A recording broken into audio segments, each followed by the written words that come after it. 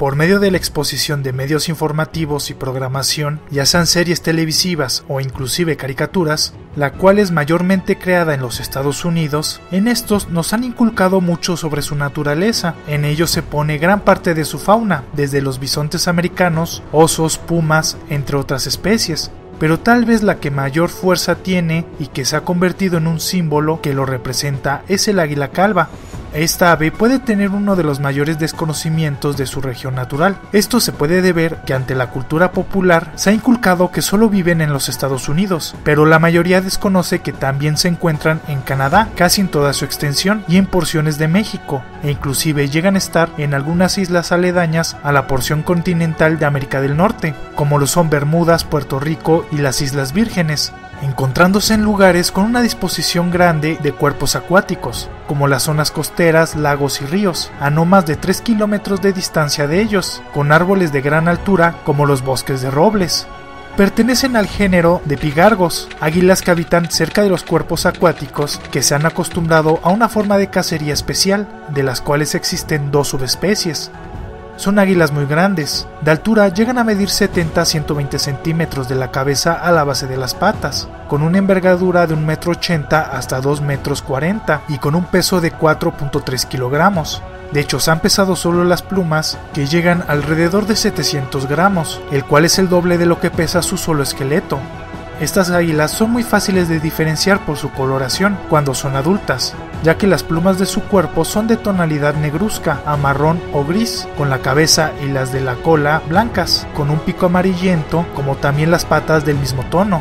Pero cuando son juveniles, estos tienen un color muy similar a las águilas reales, sus picos son curvos sobre todo en la punta, sus ojos son de color brillante, posicionados ligeramente al frente de sus cabezas, mientras que sus patas carecen de plumas, cuentan con cuatro dedos en cada una, con un dígito en dirección caudal, los cuales son cortos, pero sus garras son grandes y poderosas, de color negro, afiladas como cuchillos.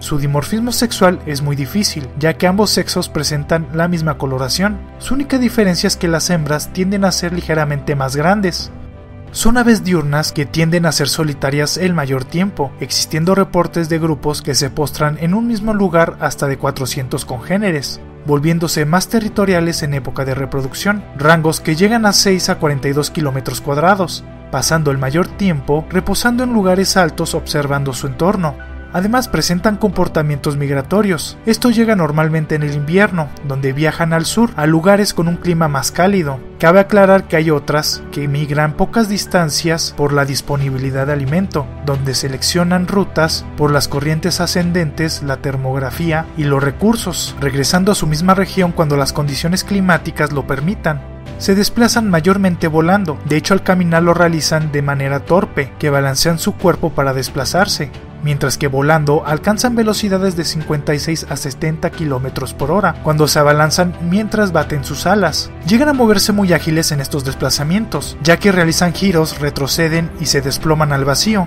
Su comunicación se da a partir de sonidos que realizan, desde chirridos, silbidos o vocalizaciones ásperas.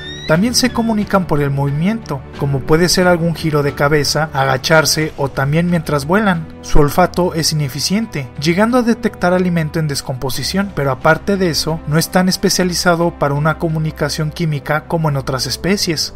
Esta especie es carnívora, la cual se vale de una amplia variedad de alimentos, pero generalmente prefieren pescar, siendo águilas pescadoras. Estas localizan algún pez, se abalanzan sobre ellos y se posicionan encima mientras vuelan para después sumergir sus patas y atraparlos con sus poderosas y afiladas garras. El éxito depende mucho de qué tan rápido reaccione el pez, así como la velocidad que tenga la cauce del río.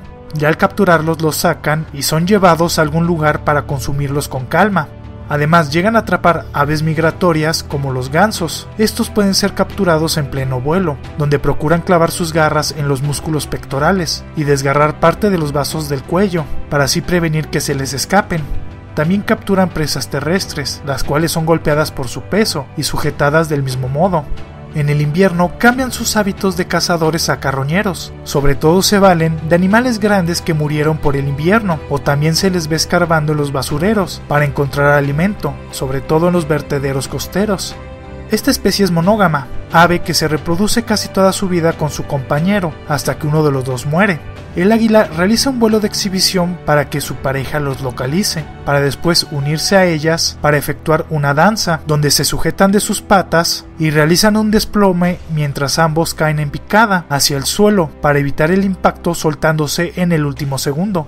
La fecha de anidación y reproducción sucede en épocas diferentes, pero solo la efectúan una vez al año, es común que éstas creen su nido en el mismo lugar. De hecho, existen registros de uno que fue usado por 30 años por la misma pareja. Estos son creados por ramas, palos y llegan a ser muy grandes. De hecho, son tan grandes que tienen el récord mundial, colocados en lugares altos y normalmente cercanos a los cuerpos acuáticos, construyéndolo o reestructurándolo uno a tres meses antes de la cópula. Por lo general se pone uno a tres huevos, lo normal es que sea uno solo, el cual es incubado por ambos padres, donde el mayor tiempo recae en la hembra, para que se vayan turnando para que uno vaya a comer por 35 días donde nace un polluelo con un plumón blanco en todo el cuerpo, que son alimentados de 3 a 5 veces al día, que es provisto el mayor tiempo por los padres, los cuales son cuidados mayormente por la madre. A veces sucede que el polluelo más grande ataca y mata a su hermano o hermanos menores, comenzarán a aprender a volar a las 8 a 14 semanas de nacidos. Con esto abandonan el nido y son independientes entre las 18 a 20 semanas, para entrar a la madurez sexual a los 5 años aproximadamente para ambos sexos.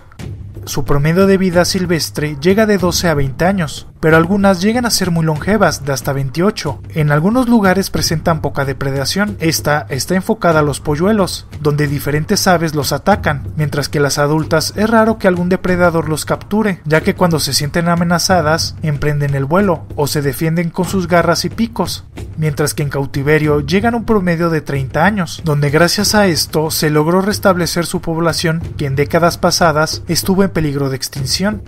Actualmente su estatus está en preocupación menor. Aún así, en los Estados Unidos está muy protegidas y agredirlas puede causar problemas con la ley. Esto se ve principalmente porque es el animal emblemático de este país. Aún así, como se dijo anteriormente, está presente en diferentes regiones de Norteamérica. Antes sus mayores problemas fueron la utilización de pesticidas como el DDT. Esto ocasionó una mortalidad muy grande en los polluelos, lo que redujo enormemente su población, debido a que estas aves consumieron carroña de animales que murieron por los pesticidas adquiriendo esto.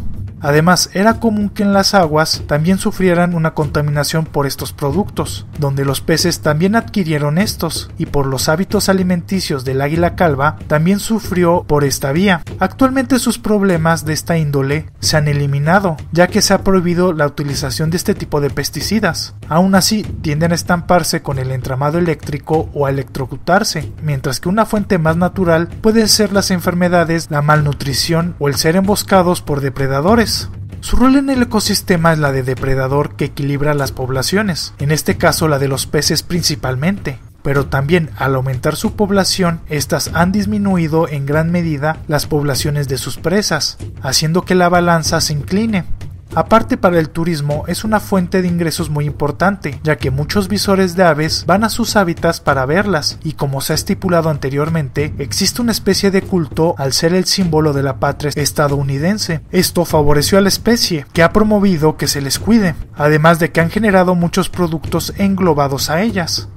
Un símbolo de libertad y de heroísmo, un ave que se convirtió en un icono de la cultura pop que representa a su país, la cual tiene una forma muy curiosa de obtener su alimento, eso es el águila calva.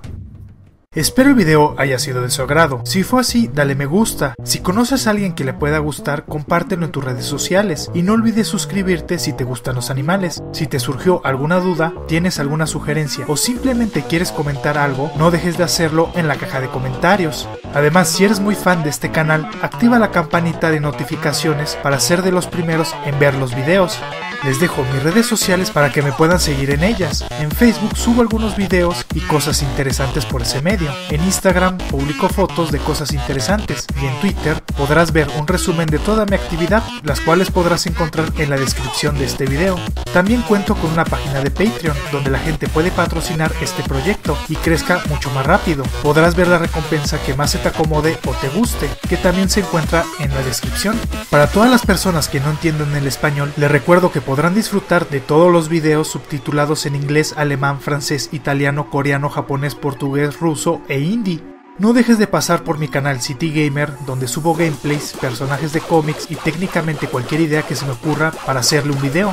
Muchas gracias por ver este video, nos estamos viendo, ¡hasta luego!